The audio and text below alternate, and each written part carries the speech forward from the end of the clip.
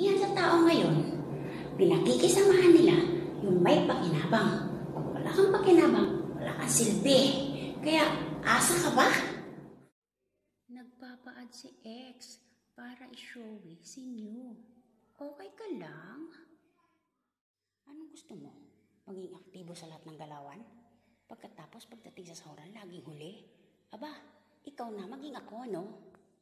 Oo nga. Ka sa abroad. Doon niya ka uutusan. Doon niya ka iiwan. Tama. Nagbago ka na. Ramdam ko ang pagbabago mo. Nanlalamig ka na sa pananalita mo, sa kilos mo, at sa inaasal mo sa akin. Bakit ganun? Tama ang paniniwala ko. Wala nang tapat ngayon dahil ang totoong tapat ay nasa tapat mo.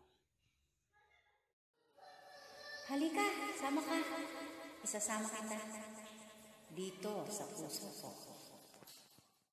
Kung akin ka, akin ka lang. Hindi mo na kailangan patunayan pa sa lahat yan.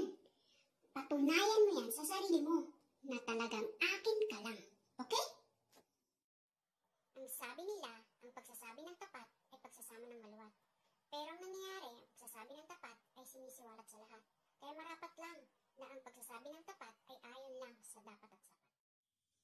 Dahil sa quarantine, may dalawang linggong bakasyon ako bawat puntahan ko.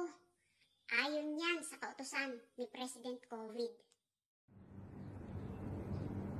Blinak mo ko dahil ang sabi mo gusto mo ng katahimikan. Kaya, blinak din kita dahil gusto ko rin ng kapayapaan. Sa lagay ikaw lang.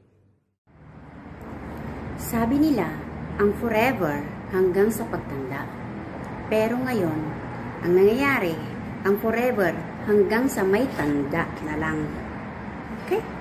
Tama ba? Sa relasyon, parang gamit lang yan na hawak mo. Lagi mong sinusubukan, tinitignan kung maayos naman ang kalalabasan. Pero may mga bagay talaga na kahit anong ayos mo, pangit na ito sa paningin ng iba. Kailangan mo ng palitan at bumili ng bago.